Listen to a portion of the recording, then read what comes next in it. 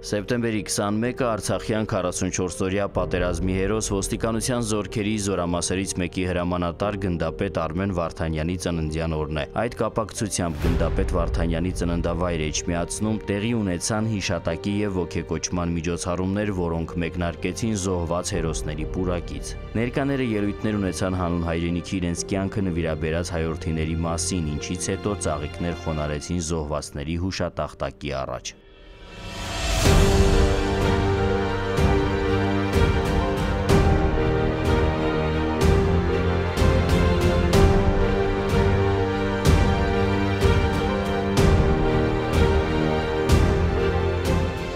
Ոստիկանության զորքերից Էջմիածնից Արցախյան 44-օրյա պատերազմին զոհվել են 3 ծառայողներ՝ հրամանատար գնդապետ Արմեն Վարդանյանը եւ ենթականերից Էդվարդ Հակոբյանն ու Էդգար Սարգսյանը։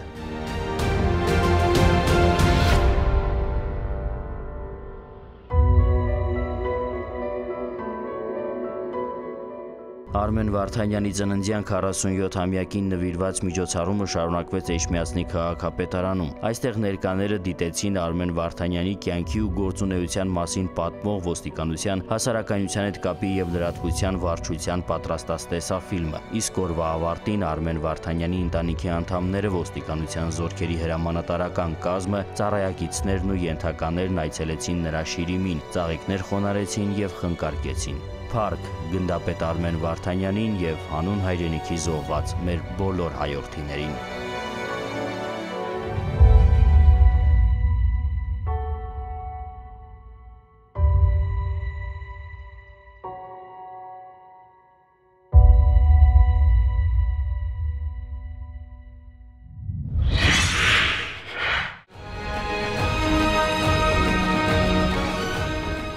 Օրերս ոստիկանության զորքերի հերթական զորախումբը մեկնեց մարտական հերթապահության։ Մարտական դիրքեր մեկնելու հանդիսավոր արարողությանը ներկա էր ոստիկանության զորքերի հրամանատար Հայկ Բաբայանը։ Նա իր ելույթում ընդգծեց ոստիկանության զորքերի սահմանապահ առաքելության կարևորությունը, ինչը ծառայողներով հպարտանալու նրանց նկատմամբ երախտագիտությամբ լցվելու առիթ է։ Տեր Վրթանես Քահանա Բաղումյանը հնչեցրեց տերունական աղոթքը, ինչից հետո ոստիկանության զորքերի զինծառայողները երթվեցին անձնվիրաբար պահել մեր սահման սահմանների մարտական դիրքերը։ Հանդիսավոր արարողությունն ավարտվեց քայլերթով։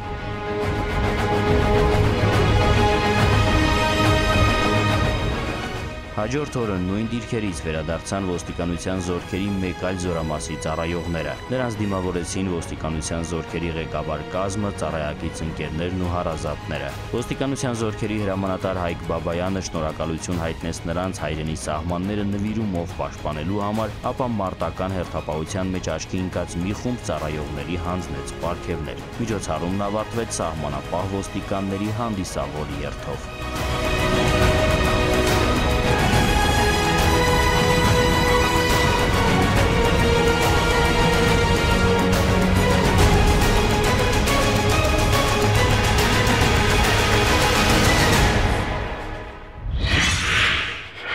Նոյեմբերի 1-ից ոստիկանության կրթահամալիրում կմեկնարկի բարեկային ծառայությունում պաշտոնի նշանակվելու նպատակով 5 ամսյա ուսուցումը։ Ավարտին շրջանավարտները կնշանակվեն Լոռու եւ Շիրակի մարզերում ու Մայրաքաղաքում բարեկային ծառայության համապատասխան պաշտոնների, իսկ սեպտեմբերի 22-ից մեկնարկեց ընդունելության ստուգումները։ Ընդունելության ստուգումները 3-ն են՝ համակարգչային թեստավորման եղանակով մասնագիտական պիտանելիության համալիր ստուգում, ֆիզիկական պատրաստականության ստուգում եւ հարցազրույց։ Ընդհանուր առմամբ ստուգումներին մասնակցելու թույլտվություն է ստացել 1102 դիմորդ, որից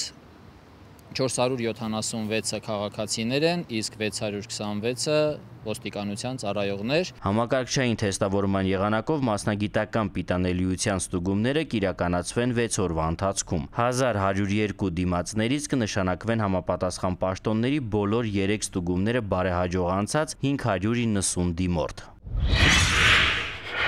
Սեպտեմբերի 14-ին ժամը 19:30-ի սահմաններում անհայտ ավտոմեքենայի վարորդը Երևան-Սևան Իջևան ճանապարհին վրա երթի էր ենթարկել 75-ամյա մի կնոջ։ Տուժողը մարմնական վնասվածքներով տեղափոխվել էր Սևան բժշկական կենտրոնի վերակենդանացման բաժանմունք եւ գիտակցության չգալով ժամը 22:40-ին մահացել։ Դեպքի արդիվ սեպտեմբերի 15-ին Սևանի քնչական բաժնում հարուցվեց քրեական գործ։ Ոստիկանության Գեղարքունիքի մարզային վարչության եւ ճանապարհային ոստիկանության երկրորդ սպայական գումարտակի ծառայողները հանցագործություն նոր առաջ բացահայտելու նպատակով սկսեցին համագործակցել Սևանի բաժնի քրեական հետախույզների հետ։ Համալիր ու բազմակողմանի միջոցառումների արդյունքում տեղեկություններ ստացվեցին, որ Mercedes մակնիշի իր մեքենայով Իջևանից Երևան գալիս 75-ամյա կնոջը վրա երթի ենթարկել Մայրաքաղաքի Մազմանյան փողոցի 60-ամյա մի բնակիչ։ Բացատրական աշխատանքի շնորհիվ սեպտեմբերի 16-ին կասկածվողը ներկայացավ բաժին եւ տվեց խոստովանական բացատրություն։ Նա ներկայացվել է Սևանի քնչական բաժին ու ձերբակալվել, դեպքի հանգամանքները նախաքննությամբ պարզվում են։ Լուսանկարում պատկերված անձը կասկածվում է ուրիշի առողջությանը ծանր մարմնական վնասվածք պատճառելու մեջ։ Նրա ինքնության կամ գտնվելու վայրի մասին տեղեկություն ունեցողներին խնդրում ենք դիմել ոստիկանության Էրեբունու բաժին կամ զանգահարել 102 010 450202 093 33 11 53 հեռախոսահամարներով։ Տեղեկություն հայտնող անձի գաղտնիությունը երաշխավորվում է։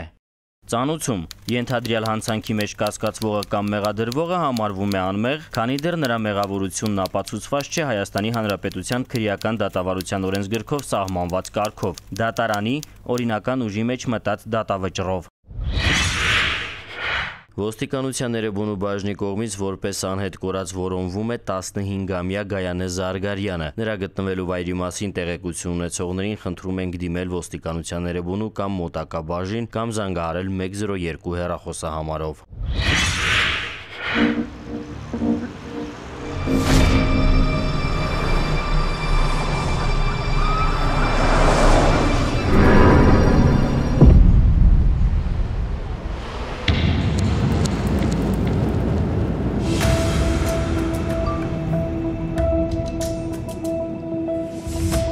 Society.am կայքի եւ Road Control Armenia հավելվածի միջոցով կարող եք նկարահանել ճանապարհային երթևեկության կանոնների խախտումները եւ ուղարկել ճանապարհային ոստիկանություն։